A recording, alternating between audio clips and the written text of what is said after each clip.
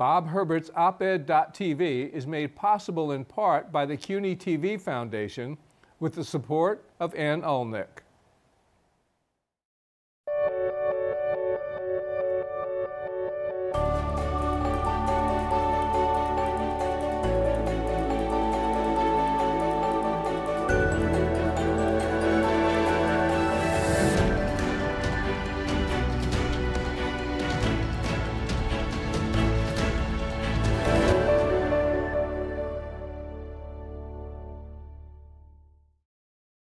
Hi, I'm Bob Herbert. Welcome to OpEd.tv. What's going to happen to the Affordable Care Act, Obamacare? If it's repealed, what will be the impact on children, on the chronically ill, the poor? Are any of the Republican alternatives viable? We'll look at all these issues and more with my guests, Dr. Irwin Redlener, a pediatrician, public health activist, and co-founder of the Children's Health Fund, and his wife, Karen Redlener, the Chief Administrative Officer of the Children's Health Fund. Welcome, guys. Thanks so much for coming in. I Glad to be appreciate here, it. Thank you. Um, give us a capsule explanation to start of uh, what the Children's Health Fund is. Karen? Well, the Children's Health Fund is an organization that Irwin and Paul Simon and I started almost 30 years ago. Paul Simon, the singer. Paul Simon, the singer and songwriter. And uh, it, the, the mission of the organization is to provide and develop healthcare programs for the most disadvantaged children in our country. Um, we've done that uh, and developed a national network around the country. Uh, and so we have programs in 15 states and Washington, D.C., and uh, along with the big advocacy program around uh, healthcare access for all children. Great. So um, I remember the very beginning Hmm. of the Children's Health Fund here in New York, and um, you're celebrating your 30th anniversary, right? Don't rub it in. Yes, we, yes. yeah, Hard to we are. believe. That's a, that's a great thing. But um, I mean, a hallmark of the Children's Health Fund are these medically equipped vans. So just Correct. quickly tell us what these vans are like. So the idea was that a lot of the children who need care the most uh, don't really have access. They may have insurance, but they don't have access to an actual service provider. So the children, for example, when we first started the program, we were focused on children in the uh, in the homeless shelter system of New York City. And even though in New York City's got plenty of resources, children were having a great deal of difficulty getting care in the usual places. And it's certainly in the rural programs that we have now, even bigger problems with lack of transportation and people living in doctor shortage areas. So we developed uh, custom designed really, which Karen did, and had built a, a mobile pediatric clinic, like a total doctor's office on wheels that could go where the, where the children are. right. And we started with one, of course, back in 1987, and we're now up to more than 50 mobile clinics uh, around the country in all these uh, rural and urban sites that we've uh, developed. So the program has grown considerably. We take care of about 90,000 different children and families uh, uh, over the course of a year, and almost 4 million health encounters since the program began in 87. So, Obamacare. Um, it's been um, the the reach of Obamacare has been extraordinary, and we've heard a lot about um, people getting coverage who have pre-existing conditions and kids who can stay on their on the program uh, until they're uh, 26 on their parents' um, plans.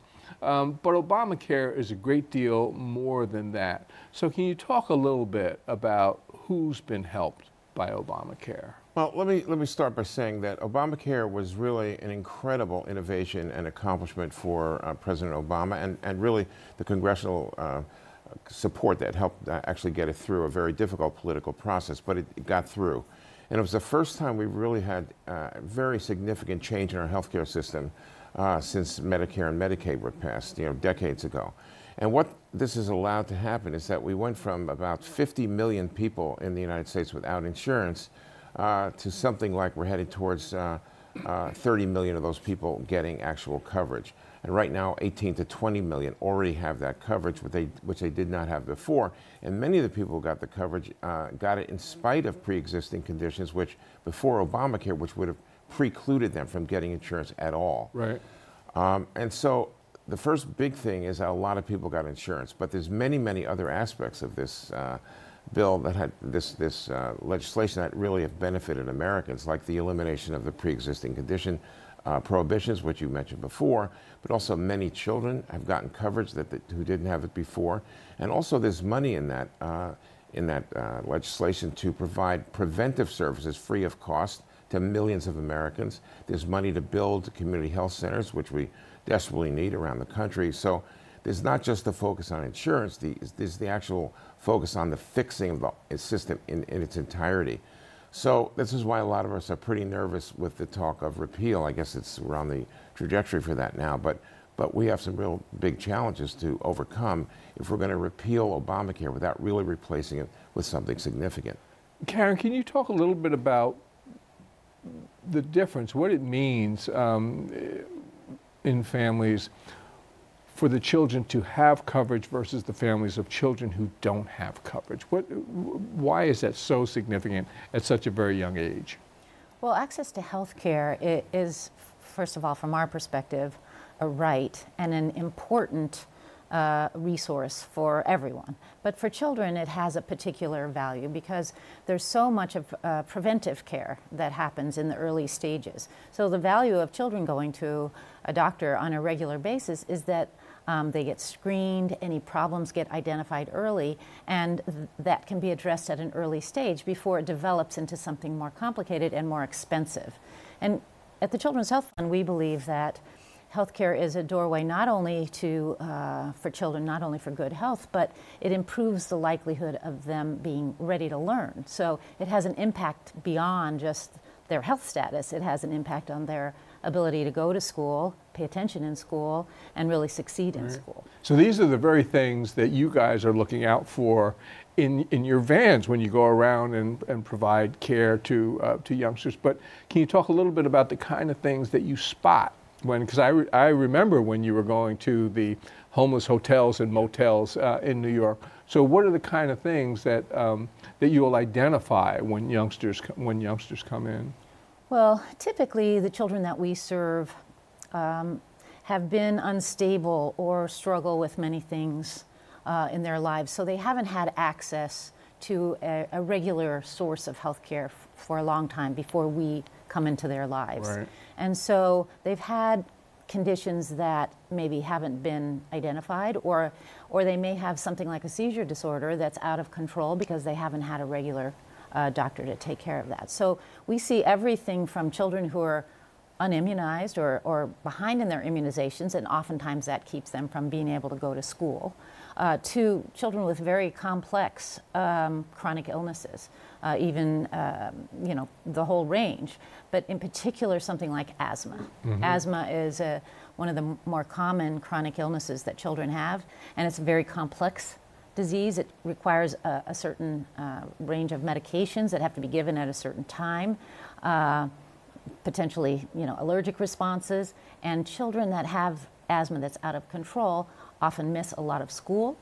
Uh, they don't sleep well during the night, and they often end up in the hospital. So that is the type of um, condition that right. you know is really important for us to take care of. Yeah, and Karen has made the point uh, frequently that children are not made up of silos. You know, they're their health, their education, their social support, all are part of uh, the well-being of any particular child. That all of it has to be paid attention to at once. And the other thing that we find, in addition to what Karen just said, are children who have visual problems that have not been identified or corrected, hearing problems, kids have been exposed to lead, children with uh, behavioral disorders and psychological issues that could be actually treated but are not treated and they end up being disruptive in class, unable to focus and so on. So there's a lot of these. In fact, we, we call certain um, category of uh, problems that children have health barriers to learning. Mm-hmm. And these are seven conditions that we've, we've hyper focused on to, to, make sure that they're not issues that children have to deal with while they're in uh, a classroom. Folks around this table tend to think of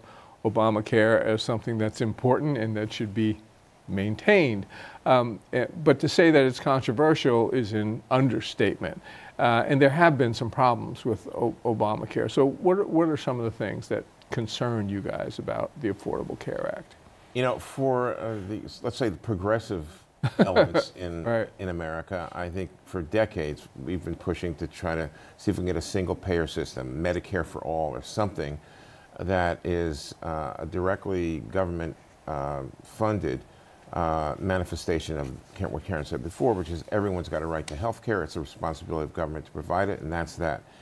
But because that is politically and ideologically so charged, I think Obamacare on a certain level was a compromise. It was the way uh, to get insurance companies uh, to agree to participate in this and pharmaceutical companies. So Obama was able to put together a plan that uh, kept it from imploding because uh, because we let's say tried to uh, we didn't we didn't try to exclude the those industries because they're just part of the system that right. we can't avoid. So we have a system that's in some ways with uh, the Affordable Care Act that's a little bit makeshift. On the other hand, it has very much accomplished what it set out to do, which is to reduce the number of uninsured people. And the other problem has been the question of cost to individuals. You know, the co-payments and the right. deductibles do they present a challenge because even though people now can get coverage more easily, is there uh, an extra burden of cost associated with that? And we actually have seen over the last five years a slowing of the rate of growth of costs associated with individuals getting health care. There's a lot more work to be done on that, and that, that was recognized as a problem even by Secretary Clinton and others who are supporters of the Affordable Care Act. Right. So dealing with cost and uh, trying to make sure that the various elements, like the insurance companies, stay on board and provide what they need to provide was part of the reason that we have a more complex plan that we than we could have if we had just a single, payer. single payer. Yeah. right? If fewer people end up insured, uh, they tend to wait too long uh, to seek medical attention, and they tend to go to hospitals, I guess, if they, uh, if they're sick or if they're badly injured or something like that. I've actually run into a lot of people who say, well, what's wrong with that? If you get to the hospital, you get taken care of. Well, explain what's wrong with that. Hmm. Well, there are a number of things wrong with that. First of all, um, you know, if you don't have a regular source of care, especially as a child, you, you don't uh, get the, the conditions identified that can be uh, addressed early on and less expensively. Right. So, so, you know, early identification of problems, you can intervene uh, uh, you know, in an ambulatory setting, which is much less expensive than going to the hospital. Um, you know, there are things that can take a, a very serious trajectory in terms of um, the development screening for cancer. Mm-hmm. Um, that, if not identified, takes you to a whole other place of, you know, having a, you know, a more extreme situation to deal with right. if you've waited a long time for that. Um, but in general, I, I think there just are it, it's a, a, kind of a philosophy of, of our, our country needs to kind of think about health and wellness as something that's integral to, to what we need to do with our lives and, and our communities you know, suffer if they don't have easy and, and affordable access to sources of health care. The Trump administration seems to have a definite intent of repealing Obamacare. What, you know, I, whether they have a replacement or not, they seem uh, intent on getting rid of the Affordable Care Act. Um, what happens if yeah. they repeal the Affordable Care Act? Well, uh, let me say something about this politically, first of all. So, so many of the things that uh, Donald Trump has done since taking office uh, that have caused a big uproar and all sorts of reaction are really things that he promised to his constituents who voted for him, and he's delivering. He's delivering on those promises, right. as abhorrent as some of these policies are.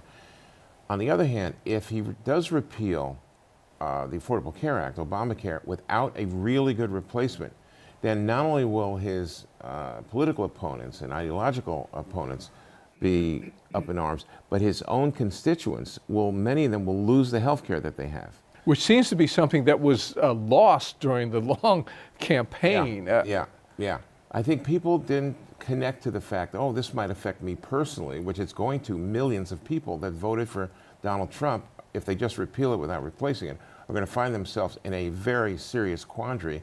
So even politically, it really doesn't make any sense, and hopefully it won't make sense in 2018 at the midterms. well. But also, um, you know, I mentioned uh, the, the, pre-existing conditions and keeping youngsters yeah. on their parents' uh, plans. Uh, Trump and other Republicans have said that they want to keep these right. Uh, elements because they're popular. Right. Um, so but they want to get rid of uh, things like the mandate and any taxes associated uh, with the Affordable Care Act. How is this possible? Well, let's be crystal clear about something. this is this is a very key point that you're just mentioning, Bob. So, you simply cannot have, you you cannot get rid of the pre-existing condition prohibitions or the lifetime limits on how much health care right. you can get without having a mandate. Period. End of story. Stop. Yeah. right. So because in order to be able to afford to do that, the insurance companies have to have a lot more customers who are healthy.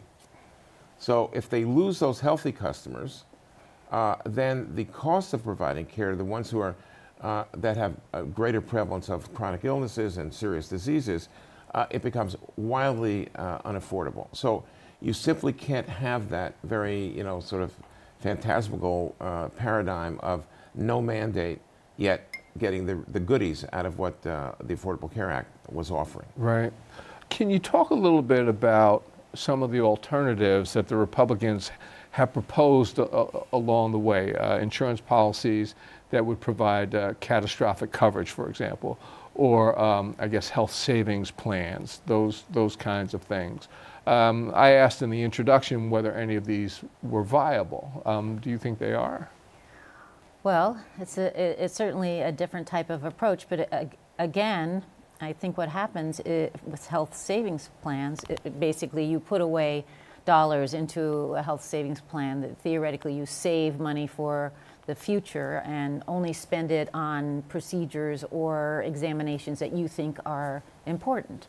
Well, that, of course, especially if you're a family, you know, middle income, blue collar worker, you don't have a lot of funds in general. That's going to encourage you to put off health care right. until it's absolutely necessary, um, which means, again, going to the hospital, going to the ER when you're sick. It, it, it will, and I think there's some research research already that's shown that you avoid uh, preventive care. You, you don't necessarily go to well child or well adult visits because you're right. feeling okay. So none of those you know early opportunities uh, to identify healthcare problems are are realized. So. I, and that's assuming, of course, that you have any money to begin with to put into a health savings account. A lot of families yep. don't. Right. Exactly. Right. So don't uh, and won't. So uh, for the reasons that Karen just said. I mean, what, and I'm I sorry. Think, I think we should remember what you know what the, the, the motivation for increasing and expanding healthcare was around you know covering those folks that didn't get health care coverage through their employer right. and, and weren't covered by Medicaid. So it's kind of that segment in between those who are you know working for larger companies or not self-employed and those who are um, have low income and so get you know basic health care through uh, a Medicaid type of program.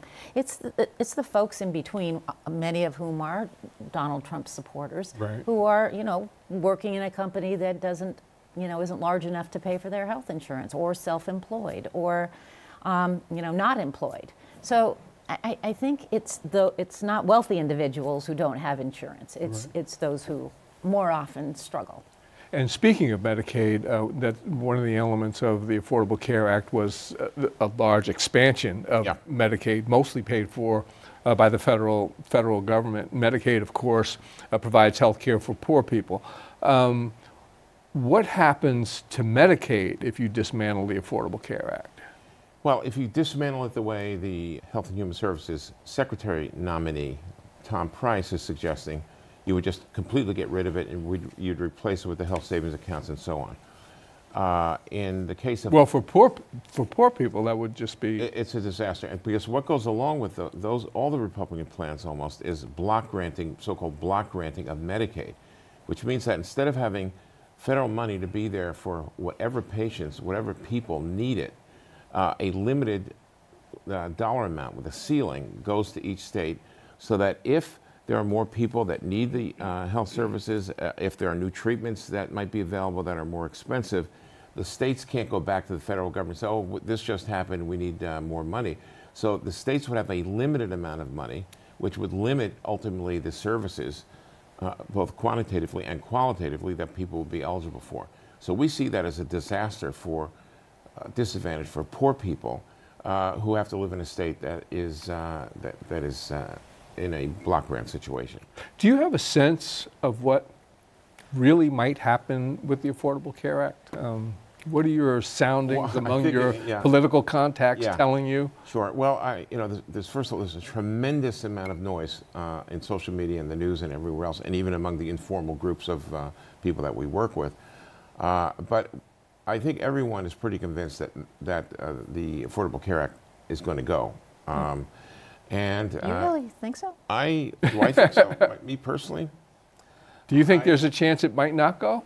Well, I think the rhetoric on the Republican, Republican side now ties them up a little bit because they, they Yeah. talk ab- about repealing Obamacare and replacing it Right. with something that's just as good, if not better. And, and doing it almost simultaneously in some Right. cases. Correct. And so I think that has has them trapped a little bit because people will be watching about what the replacement is. Right. And you know what things it can ad- address and what things it can't accomplish.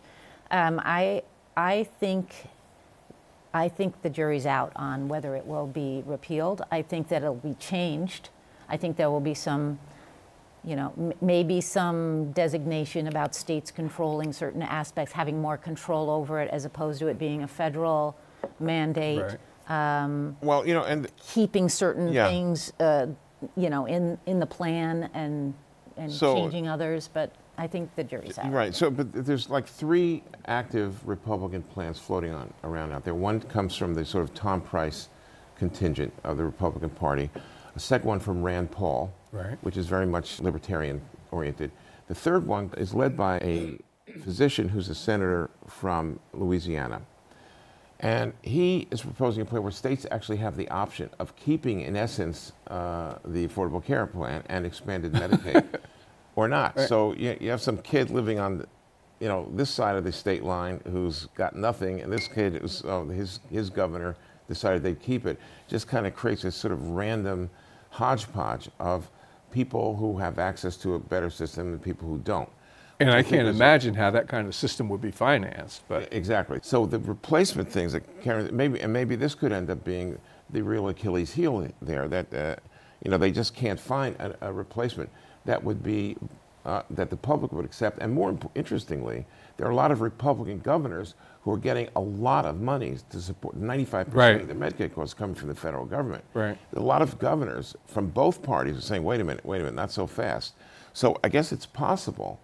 Uh, I don't know how the Trump administration would handle that, since that was, I guess, the number one promise, in addition to the wall, um, that that he'd have to kind of step back from. I guess it's possible, or maybe They just need to change the name. they just needed, Not yeah, we, we got rid of it. Right. We- They- you know, they alternative to- facts, alternative names. We got everything. Yeah, alternative facts, exactly. I mean, that's, uh, Yeah. that's in their wheelhouse. Um, we've got only a little more than 30 seconds left, but um, tell me in that little bit of time how the whole idea of the Children's Health Fund came up and how you guys got it started. So let me just say that uh, I met Paul Simon through my affiliation with USA for Africa. We were both, he was a singer and I was helping distribute the funds. He wanted to do something in New York for homelessness where he, uh, because he lived there. We went and did a tour of the welfare hotels and shelters in New York City and we're totally blown away. He is a superstar, me as a physician, and we just vowed that we needed to do something to help children. Because it was devastation in, in, It those- was indescribable. Yeah. Uh, and that's that's how it started. And from that kernel, Karen, uh, we Paul and, Paul and I took Karen out to dinner to talk her into putting the whole thing together administratively. She agreed, thankfully, and uh, you know. And here we are. Decades later, yeah. So now, three decades later, you're not just in, um, in New York. I mean, how many states are you in? In, in 15 states and New York and D- DC. Oh my goodness, that's Yeah. great. Anyway, I wish we had more time, but thank you so much for coming in. Well, thank Thanks, you. I appreciate Thanks it. for having us. Uh, we'll be back in a moment with a final word.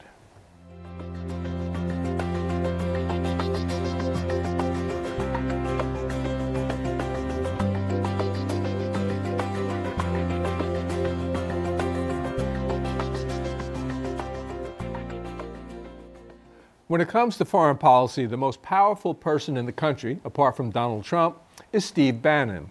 Bannon is Trump's highly secretive chief White House strategist and senior counselor, a position the New York Times described as an enormously influential post. Trump has also given Bannon a formal seat on the Principals Committee of the National Security Council, a critically important gathering where the most sensitive matters of war and peace are analyzed and discussed, and the most far reaching and consequential strategies are formulated. To have a political appointee like Bannon given a seat on that committee is unprecedented. John McCain called it a radical departure. Susan Rice, who served as President Obama's national security advisor, called Bannon's appointment stone cold crazy. Who is Steve Bannon? We know he's the former head of Breitbart News, an online publication beloved by white supremacists, extreme right wing ideologues, and haters of women. Among those cheering Trump's appointment of Bannon as his top advisor were the chairman of the American Nazi Party and David Duke, former imperial wizard of the Ku Klux Klan. The entire time I was reading through the research material for this commentary, I felt like taking a shower. Bannon has denounced liberal women as, quote, a bunch of dykes that came from the Seven Sisters schools. According to a Breitbart headline, quote, birth control makes women unattractive and crazy, close quote. After attacking Republican congressional leaders, in which he labeled them with an anti woman slur so grotesque I can't even begin to repeat it here, Bannon declared, Let the grassroots turn on the hate. This is the top advisor to the President of the United States. We know some things about him, and as far as I'm concerned, none of it is good. But we need to know so much more. It's time for a much brighter media spotlight to be thrown on the history and the current activities of Steve Bannon. That's all for now. See you next time.